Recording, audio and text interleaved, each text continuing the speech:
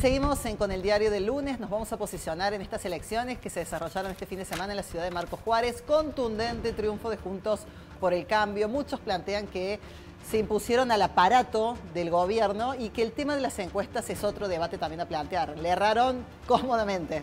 Sí, eh, una diferencia muy grande, realmente 18, 17, 18 puntos. 18 puntos de diferencia de Sara Majorel y Pedro de la Rosa eh, contra la fórmula de Verónica Crescente que estaba apoyada por el vecinalismo y por Hacemos por Córdoba, por el gobernador Juan Schiaretti y en la última parte de la campaña por el intendente Martín Yarlora. Eh, hay que decir también que la fórmula Majorel de la Rosa contó con el fortísimo apoyo de todos, eh, de, Horacio Rodríguez Larreta. Eh, en cuanto a los fierros, ¿qué son los fierros? Todo lo que tiene que ver con esto de la comunicación, la estrategia de la campaña, y a eso hay que sumarle la presencia de los principales referentes de Juntos por el Cambio, porque vinieron Mauricio Macri, em, vino además de em, Patricia, Bullrich. el propio Rodríguez Larreta y estuvo Gerardo Morales, el presidente del radicalismo. O sea, e, estuvieron todos. Es muy, simbólico lo de Marco Juárez, ¿no? Para el camino hacia. Exactamente. Hacia no sabemos dónde en este 2023. Pero, en realidad el propio de la Rosa considera que, que sí, que al ser el primer turno electoral marca una tendencia. Siempre lo ha marcado. Eh, esta mañana en Punto a Punto Radio tuve la oportunidad de dialogar con el, con el intendente, eh, que ahora va a ser viceintendente de, Sara Majorel, y analizamos un poquito eh, lo que fue la elección, cómo la vieron ellos, ¿no? Porque a lo mejor nosotros desde acá, desde Córdoba, con esto desde de las encuestas lo vimos diferentes. Así que está, está la palabra de de la Rosa para tratar de entender un poquito qué pasó en la jornada de ayer. Bien, compartimos entonces la entrevista que les realizó en el día de hoy nuestro compañero Diego Caniglia a Pedro de la Rosa, dos veces intendente de la ciudad de Marco Juárez y por supuesto celebrando el triunfo de su candidata.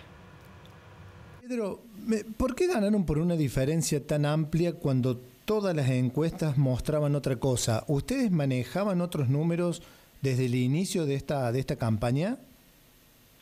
No, nosotros, mira, la verdad, no, no lo sé. Yo lo único que te puedo decir, el termómetro que vivíamos una semana antes de las elecciones, que era el mismo que teníamos hace cuatro años atrás.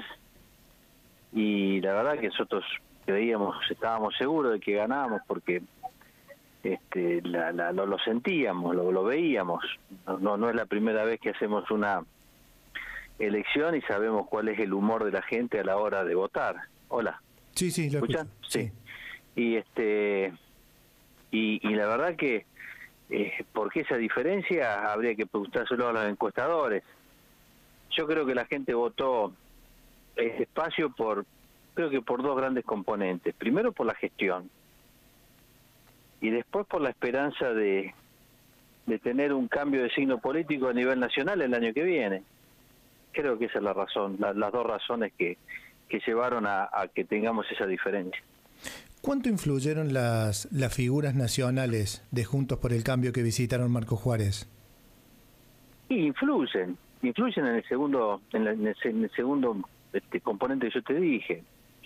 La figura de Mauricio Macri, la de Patricia, la de Horacio Rodríguez Larreta, la de eh, María Eugenia Vidal, la de Martín Tetaz, la del gobernador de, de Jujuy, Gerardo Morales eh, incluso referentes de Córdoba como Luis Juez, eh, Rodrigo de Loredo, y todo, todo el arco político de Cambiemos, este, auspiciando que Marco Juárez vuelva a ser ese, ese, esa luz de esperanza o esa, esa onda expansiva que le dé que le dé previsibilidad al año que viene.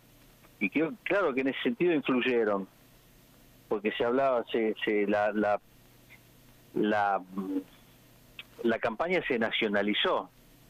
Y yo creo que con mucha razón, porque era, a ver, eran dos partidos políticos los que jugaban y los que se disputaban. Era el Partido Peronista por un lado y Juntos por el Cambio por el otro. Bien. Eh, ayer le dio un protagonismo importante a Luis Juez. El Luis Juez se jugó desde el principio, fue el que más creyó que nosotros íbamos a ganar a pesar de las encuestas y a pesar de la desazón que había porque este, se alentaba de que nosotros habíamos dejado de lado una una candidata que se decía que era la mejor, pero la verdad que cuando elegimos nosotros elegimos a Sara por la capacidad y por por por su por su personalidad.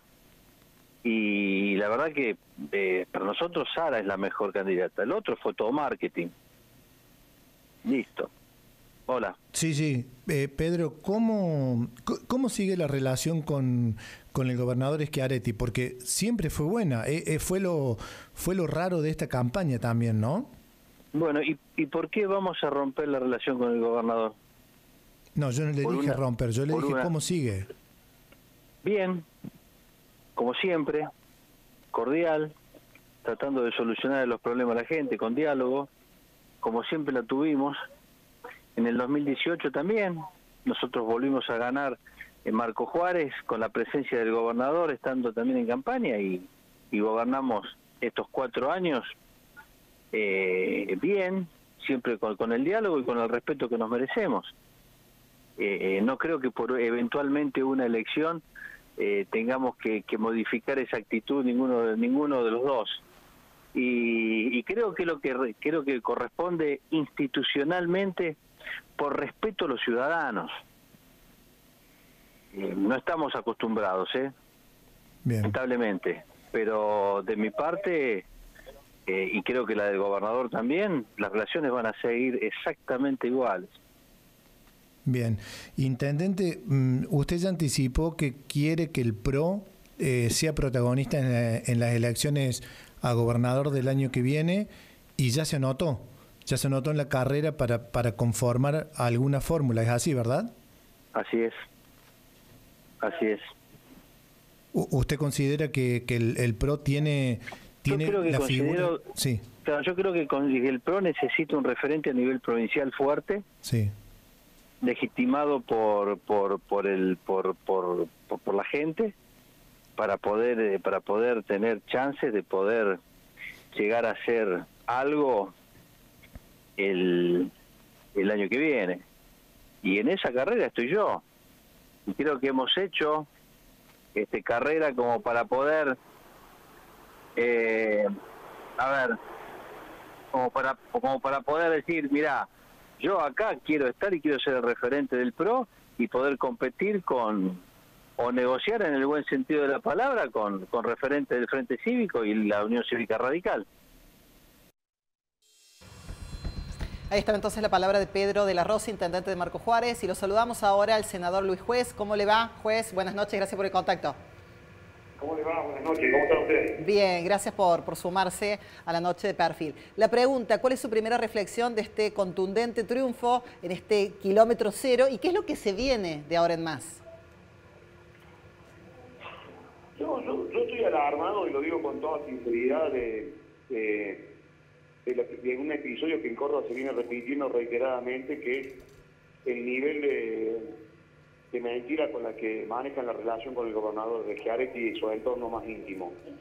Tengo la sensación como ciudadano que Chiaretti le, cuentan un tercio de, lo que pasa en Córdoba, de lo que pasa en el infantil, de lo que pasa con la seguridad, de lo que pasa con un montón de cosas, porque si no, no entiendo cómo podrían haber montado una campaña que nosotros sabíamos que iba a ser complicada y difícil, pero que también sabíamos que veníamos creciendo de manera increíble, sostenidamente. Yo fui seis veces a Marco Juárez en los últimos 40 días y veíamos que esa elección no se nos iba a escapar, que íbamos a ganar, que era una elección importante.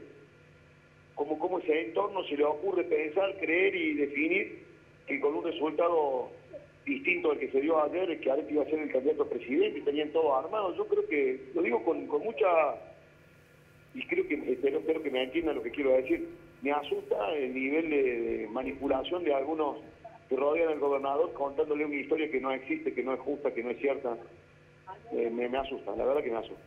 Senador, ¿usted está diciendo que no, no lo cuidan al gobernador desde su entorno? Te, escucho con dificultad, ¿cómo decís? Que no lo cuidan al gobernador. No, no lo cuidan, claramente no lo cuidan. No lo cuidan porque armaron una, una situación en Marco Juárez que pone en evidencia y destruye la credibilidad de ese peronismo que no tiene nada que ver con el kirchnerismo, pactaron con el kirchnerismo, se llevaron una candidata que era afiliada del PRO, que era la que mejor medía, que era la secretaria de gobierno, como Verónica Crescenti, y no les importó absolutamente nada armar una lista con dirigentes del PRO. Eh, eh, creo que le vendieron al gobernador que con eso se garantizaban un triunfo y eso era un trampolín para el tema nacional. Pero bueno, es un problema del PJ, pero, pero lo que pasa es que estamos todos al medio porque Schiaretti fue cuatro veces, gastó fortuna, prometieron locura, hicieron una campaña monstruosa en recursos, en plata, eh, realmente monstruosa, una campaña, lo digo con, conocimiento de causa, una campaña multimillonaria, multimillonaria, eh, eh, sin ningún tipo de sentido.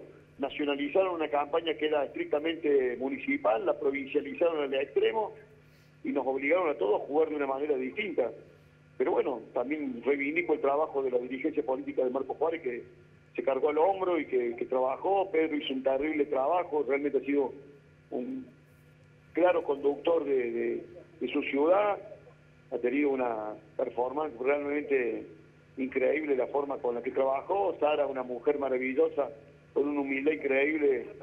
Pero bueno, la verdad que estamos contentos porque ha sido todo un motivo de mucha satisfacción. Eh, juez, lo vimos anoche eh, que el intendente Pedro de la Rosa le dio un lugar protagónico en el, escenario y hoy en una entrevista que le hicimos ponderó eh, su trabajo porque dijo que fue uno de los pocos dirigentes que creyó desde un primer momento el triunfo de Juntos por el Cambio. ¿Qué, opinión tiene al respecto sobre esto? No, yo dije el primer día que le iba a bancar a Pedro, le dije, Pedro, contá conmigo por lo que haga falta. Quiero contarte que hace 60 días atrás arrancamos 24 puntos abajo. 24 puntos abajo. La candidata del PJ, que era Verónica Crescenti, la secretaria de gobierno de la ciudad de Marco Juárez, estaba, era la dirigente con después de Pedro de la Rosa con más alta imagen.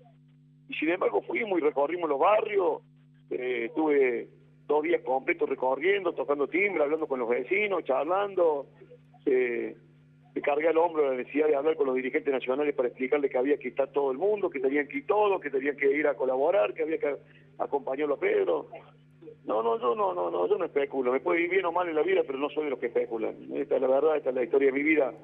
Me puede ir bien o me puede ir muy mal, como me ha ido muchas veces, pero siempre yendo de frente. Y con Pedro, creo que estos 60 días le mostramos que no teníamos ninguna especulación. No es que nos subimos al palco ayer cuando, cuando ganaron. Tuvimos siempre. Luis Juez, cortito y ya nos vamos al corte. ¿Usted cree que se va a repetir la historia del 2014? Vamos a trabajar, vamos a trabajar, vamos a trabajar fuertemente.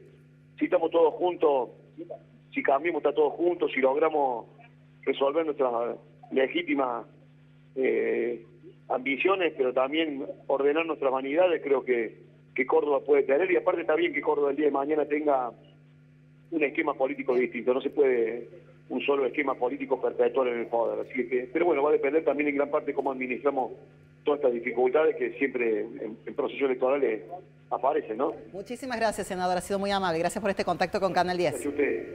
Bueno, ahí estaba entonces el senador Luis Juez haciendo una referencia luego de estas elecciones con un triunfo contundente por parte de Juntos por el Cambio. Nos vamos con la foto de la semana en voz de Sergio Marquicio. Peronismo religioso. El Frente de Todos exhibió a todos los sectores del oficialismo en una misa por la paz tras el atentado a Cristina Fernández de Kirchner, a la que no asistieron la vice, su hijo Máximo, ni la oposición que había sido invitada.